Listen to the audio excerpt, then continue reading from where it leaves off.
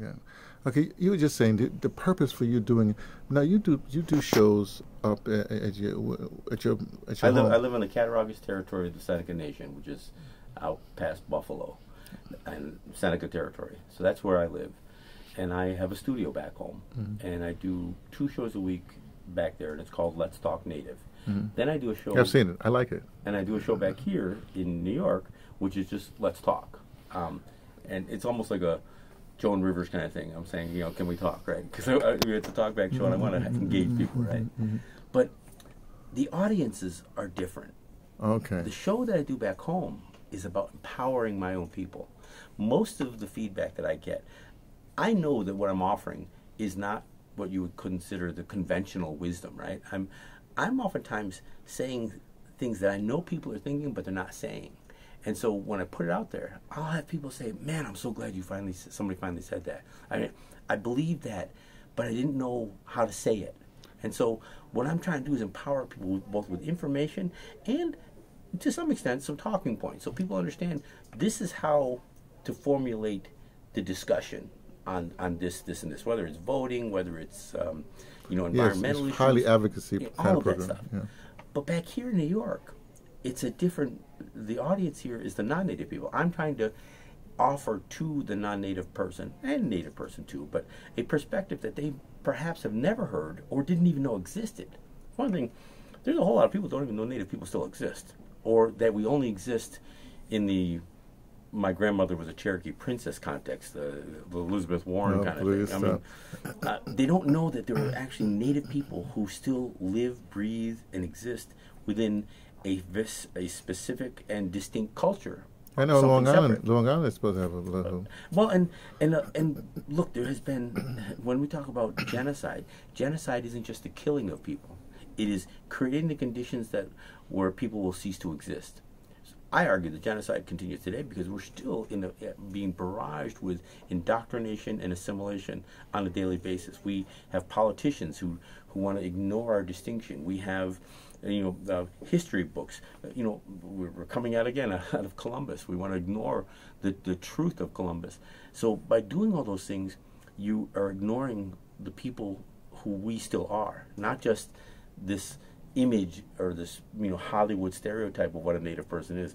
I mean, when I hear people say, "I don't look native," and I'm thinking, you mean like Iron Eyes Cody, the Italian guy who you know did the PSAs on, the, on tear, the tear, the tear Indian. Yeah, the tear Indian. That guy wasn't even native. Yeah. But when I hear somebody's tell me that they've already got this image in their mind of what a native person is, I'm going to say, look, let's uh, let's revisit that because you need to understand what a native person is. Now we're sitting at WBAI right now. The the locked out, lockdown, cooed WBAI. Now something happened to you, and it because you you did your regular program, like you said, you have your own studios up there above Buffalo. Uh, but something happened here. Tell us, tell us about this incident. What, Well, what's going on? Whoa! It was kind of interesting because uh, Trying to call you names, I hear. Well, when the plug got pulled last Monday, I made an announcement right off the bat that I was still going to do my show on Thursday, even, even if I was only streaming it on Facebook or and putting it up on as a podcast. so I did a show on Thursday. I actually had Reggie Johnson uh, join me on the show, and we did the show. It, uh, it When you say join you, but he, he wasn't up upstate. no, he joined me by phone. He joined me by phone uh, in, in my studio back uh, back home in the Cattaraugus territory of Seneca Nation. We streamed it on Facebook. I streamed it on my website, and then we put it up as a podcast.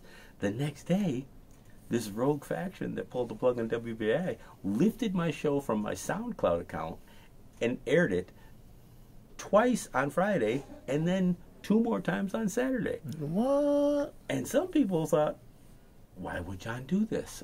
I'm like, I didn't do anything. I know, sell out. they, yeah, I mean, some people. Scam. The, the immediate thing was that somehow I had somehow reached out to this rogue group to to make sure that I got aired when nobody else did, and of course that wasn't really the case. And I I kind of answered those questions, but hmm. but the fact of the matter is, is that these guys took a show that that had no real affiliation with WBAI because it was my show produced in my studio on my equipment, and it was and it was stored on my YouTube account and on my SoundCloud account. They actually had to lift it, download it from my SoundCloud account, and put it on WBI, WBI Airwaves. Oh, these some diabolical SOBs.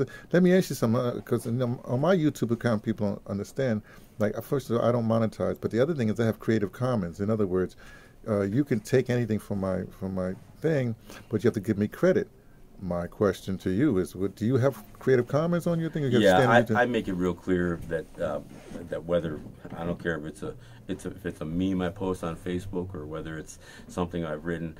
Um, I'm all in favor of somebody using some of uh, my quotes and, and some of my content, um, and I ask the same thing. Just just you know, just try to credit where you got it from. Well, you know where I'm going with this. Yeah. Did this rogue faction credit you? Is my question. Well, they not only they didn't, they actually not only did they not credit me, they actually didn't even call the name by the right, uh, the, the show by the right title. Because my show back home is called Let's Talk Native. My WBI show is called Let's Talk.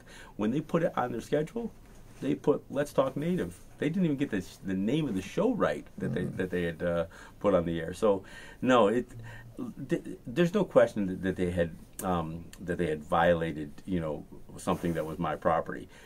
It's not my nature to, you know, to, yeah. to, get involved no, in litigation over stuff. But I will say, they they they haven't done it again, so they kind of acknowledge what they did. Mm-hmm. But it was um, they had to. This wasn't just something that they had available. They had to look for it and they had to mm-hmm. download mm-hmm. it and then put it on air. So um, yeah, it's, it was it was kind of interesting. it, also begs the question why? Why of all shows would they have done it to my show, and why would they have done it to that show in particular? Because if you go to my SoundCloud account, I've got hundreds of shows there. They could have played any one of them, but they played the one. Oh. You know, they played it four times, and they played a show where I actually I wasn't necessarily kind to, to, to Pacifica in the show either because I talked about the lockout. Oh, this is interesting. So, in other words, they're they're trying to they're trying to make like a, a BAI was going on as usual. Yeah, I think that's that's when that show aired. It did. Uh, there were a lot of listeners who wondered, "Oh, is WBI back?" They mm. they honestly thought that. So they were either trying to, you know, give some sense that it was business as usual, or you know that they were still committed to local programming when they oh, when they were oh, anything. That's but. the other thing. That's the other thing. I'm thinking they're saying, well, oh, you know, if, if, we, if we have our way, don't worry. You know, you'll have you'll have local you'll have local content still. People, oh, okay, I got you. Even as they're trying to pull the plug on not just uh, the staff. But, but on the facility, well, maybe they that's literally the thing. to shut the studio down, not just re. Oh, that's uh, right. They do want to shut the studio down, not just get rid of the management yeah, and all that yeah. stuff. Okay, I got you. All right, thanks again. Yeah.